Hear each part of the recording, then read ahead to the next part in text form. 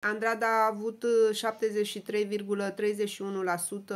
voturi să plece din competiție, așadar doamna Simona a invitat-o pe Andrada să își facă bagajul, astăzi părăsește casa Mireasa, Dediș rămâne în competiție, Eliza a vrut un răspuns clar de la Dediș dacă vrea să o cunoască sau nu, Uh, și i-a spus că ea nu vrea să aștepte, ea e o fată hotărâtă și roagă să fie sincer și să spună ceea ce simte.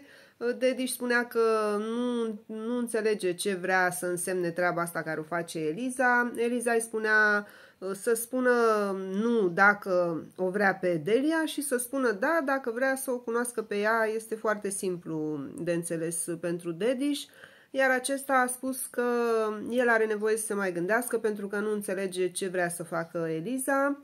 Eliza îi spunea să facă ce simte, el a spus că nu înțelege exact și are nevoie de timp.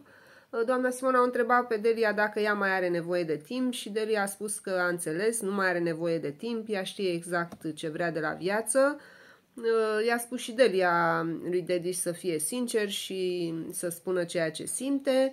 Uh, doamna Simona i-a spus uh, lui Dediș că tocmai a căzut într-o cursă și a mușcat-o grav de tot.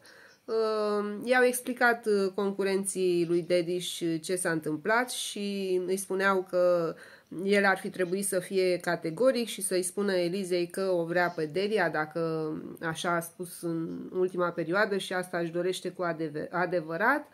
A fost o dezbatere destul de mare acolo între concurenții. Doamna Simona a invitat uh, după emisiune, după gală, să discute uh, această problemă. Uh, Dedi și-a căzut într-o plasă, într-o cursă. Eliza a explicat că Delia a vrut să știe exact ce simte Dediș și fetele s-au gândit la Eliza să o pună să facă acest scenariu pentru ca Adelia să își dea seama după reacția uh, lui Dedi și ce simte cu adevărat uh, pentru ea.